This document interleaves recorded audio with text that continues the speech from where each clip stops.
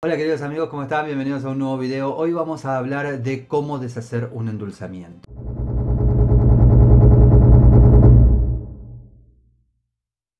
A ver, hay distintos tipos de endulzamiento y de acuerdo a la forma como haya sido el endulzamiento es como se realiza el corte. Pero principalmente, y traje este video eh, porque algunas de las personas me dicen de que realizaron ellos mismos, por ahí vos mismo, vos misma, realizaste un endulzamiento simplemente porque te diste cuenta de que por ahí la relación se había desgastado o la otra persona se fue o pidió un tiempo. Entonces realizaste un endulzamiento creyendo de que no iba a tener consecuencias negativas y eso no es así, por supuesto, de que tienen consecuencias negativas, pues estamos afectando en el libre albedrío del otro, entonces tiene sus consecuencias negativas. Entonces, si realizaste este endulzamiento y querés realizar el corte, es decir, querés, eh, digamos, deshacerlo, por una parte tenemos que tener en cuenta el tiempo, es decir, si vos lo realizaste si vos sos quien lo realizó. Y lo realizaste por ahí ya hace un mes atrás,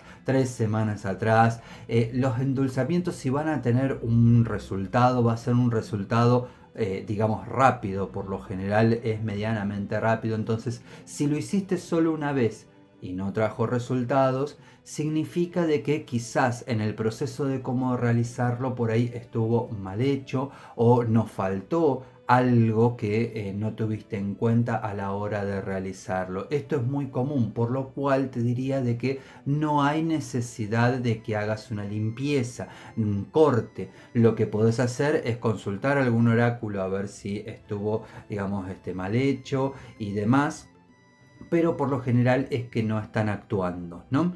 Eh, esto pasa mucho puntualmente con todos los videos que hay en internet al respecto de cómo realizar endulzamientos, que la mayoría de ellos siempre se observas en su común denominador, si bien hay distintas técnicas, a también a todos falta eh, la aclaración de que la persona debe hacer un centramiento previo, debe tener una práctica mágica habitual para poder canalizar su voluntad mágica a la hora de realizarlos, deben estar realizados en un día y una hora en específico, es decir, hay varios puntos que por ahí no fueron tenidos en cuenta por la persona que lo hizo y por eso no tuvo los resultados. En ese caso se recomienda que no hagas nada porque justamente no tuviste los resultados porque eh, no estuvo bien realizado. Ahora bien, eh, en el caso de haber realizado por ahí hace unos días ese endulzamiento y haberlo hecho bien con eh, cierto conocimiento, lo que se recomienda es de que hagas una vela de corte, es decir, una vela para deshacerlo. Así como por ahí creaste una vela por ahí vestida, ¿no? Con miel, con canela, con azúcar eh, con la práctica adecuada para hacer ese endulzamiento, lo que vas a hacer es crear una vela para hacer ese corte. Lo ideal es que la vela sea de color negro y no negro con un sentido, digamos, negativo, sino que recordemos de que el color negro en la magia con velas, en la magia, el negro siempre se usa para los cortes, para las limpiezas, para las purificaciones. No tiene un sentido negativo de no tener una vela de color negra, porque algunos me dicen, Marco, no, no es imposible en la ciudad donde estoy o por donde estoy conseguir una, podés utilizar una vela blanca que reemplaza la de cualquier color, como también reemplaza la vela eh, negra en la magia. Así que puedes utilizar una vela color blanca. Lo que vas a hacer a esta vela es vestirla. Se le dice vestirla cuando se le agregan hierbas a la vela. En este caso vamos a utilizar hierbas que son muy simples, muy fáciles de conseguir, pero muy potentes. Que son, por un lado, la ruda. ¿Por qué? Porque la ruda exorciza, limpia, corta. Es decir, aquella intención que en algún momento arrojamos va a ser la ruda la que nos permita cortar y limpiar con todo eso. Va a llevar ese mensaje de corte. Por otra parte, vamos a utilizar el romero. ¿Por qué? Porque el romero es una hierba que potencia los actos mágicos y así como por ahí la vela de endulzamiento estaba potenciada con la miel o con el azúcar, con la canela, de esta manera vamos a tener un potenciador para el corte que es eh, uno de los más poderosos que hay que es el del romero. Y se le suele poner también gotitas de limón. ¿Por qué? Porque el limón también ayuda a limpiar, a purificar. Acá lo que estamos queriendo hacer es purificar al otro y purificarnos a nosotros de esta intención mágica. Por ende, si en esa vela de endulzamiento habías escrito el nombre de la persona y seguramente que lo escribiste de arriba hacia abajo en la vela, escribiste por ahí el nombre de la persona con la fecha de nacimiento para atraerla, porque de arriba para abajo con la intención de atraer, vas a hacer justamente lo contrario. En esta vela vas a escribir el nombre y la fecha de nacimiento de abajo hacia arriba con la energía de soltar, de cortar, de purificar y con la intención humilde de purificar al otro y limpiarse y cortar el vínculo con el otro. Ahora bien, hay que tener algo muy en claro de que una cosa es digamos, el preparar nuestra vela y la vela que vamos a utilizar y otra cosa es la intención mágica.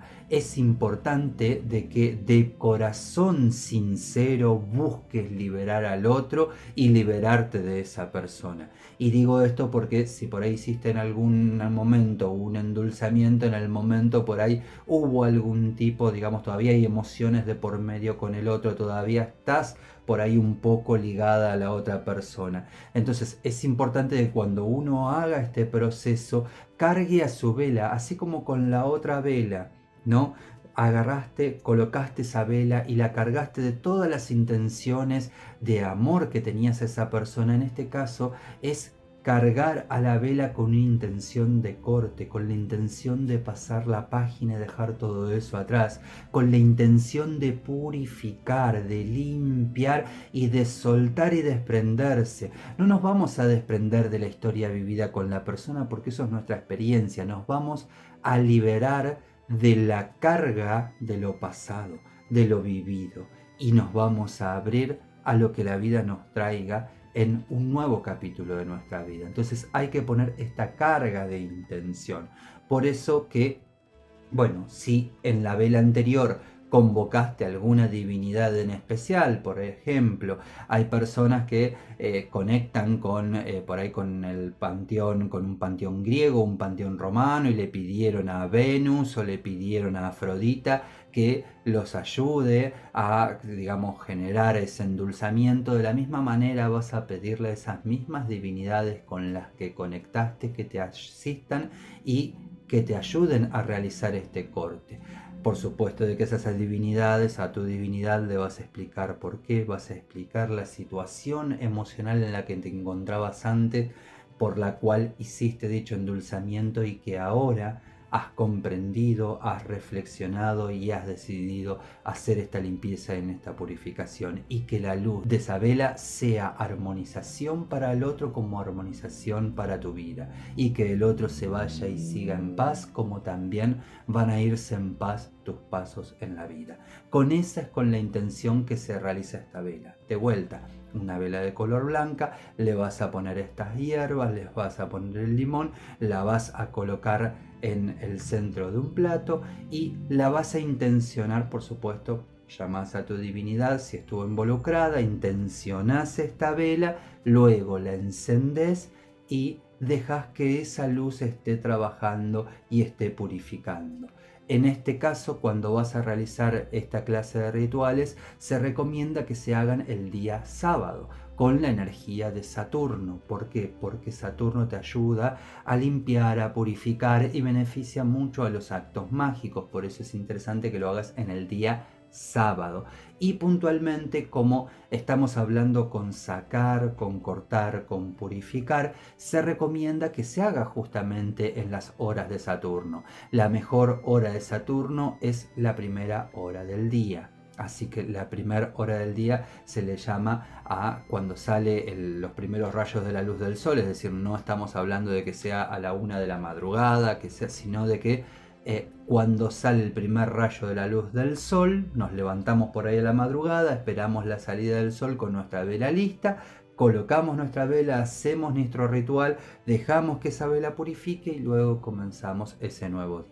Algunas personas aprovechan también para hacer un baño de purificación luego de este proceso, luego de que se quema la vela y demás, y antes de comenzar el día deciden realizar un baño con sales de purificación a las cuales a las sales se les suelen poner, si lo quieren hacer, que sean con este sentido de purificar, de armonizar la nueva energía porque nos estamos renovando. Para eso se recomienda que se usen flores. Flores como la lavanda puede venir muy bien para, esa, para esas, esas sales.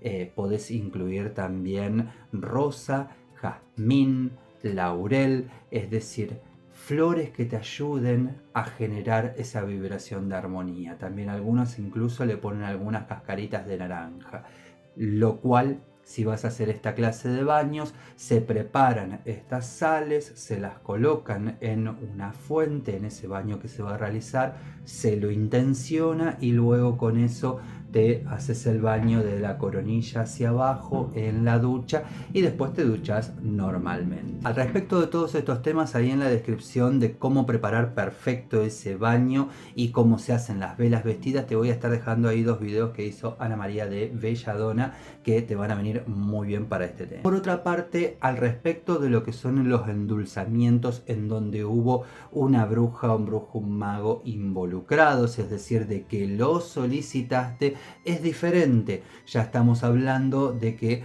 hay una persona que trabaja con divinidades en especial y que trabajó de una forma en especial para realizar ese endulzamiento, por lo cual se recomienda de que a ese mismo brujo, de la bruja o mago que contrataste para que haga ese servicio, ese trabajo por vos, de la misma manera le vas a solicitar que realice el corte.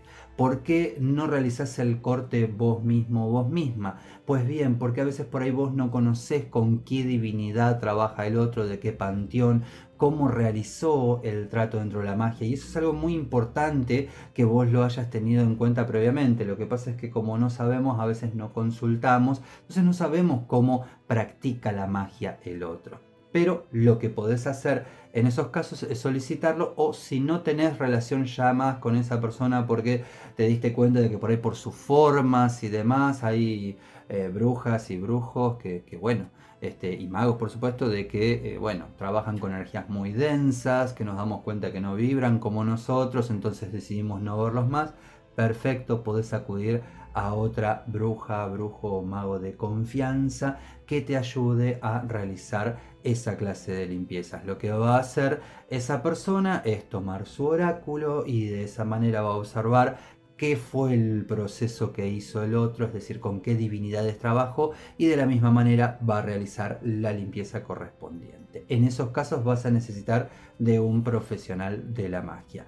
Pero fuera de eso, podés realizar tranquilamente esta forma muy simple y muy sencilla, podés realizar ese corte. ¿Por qué? Porque es tu intención. Así como fue el poder tu intención, el que buscó llamar a la otra persona, de la misma manera es el poder de tu intención que realiza el corte sobre eso. Así que bueno, queridos amigos, espero que este video haya aportado y haya resuelto esta duda. Si les quedaron más dudas al respecto o quieren que ondemos más en el tema, no hay problema me lo hacen saber ahí en los comentarios y con gusto les estoy respondiendo o realizamos un nuevo video. No te olvides suscribirte al canal, darle a la campanita y nos vemos en un próximo video. Hasta pronto. Bueno queridos amigos, llegamos al final de este video. Les recuerdo que tienen todos estos libros disponibles tanto en Amazon como en Smashword. En la descripción les voy a estar dejando ahí el link por si quieren adquirir alguno de ellos. Recuerden que hace poquito habilitamos la pestaña comunidad para que puedan sumarse, aportarnos para que sigamos creando contenido y a la vez ahí tienen contenido exclusivo para miembros, material exclusivo para ustedes. Por acá les estoy dejando el link a la web para que puedan descargar las guías gratuitas que vamos haciendo bimensualmente y por supuesto no se olviden suscribirse al canal, darle a la campanita y les dejo otro video para que sigan disfrutando del mundo de las runas. Hasta pronto.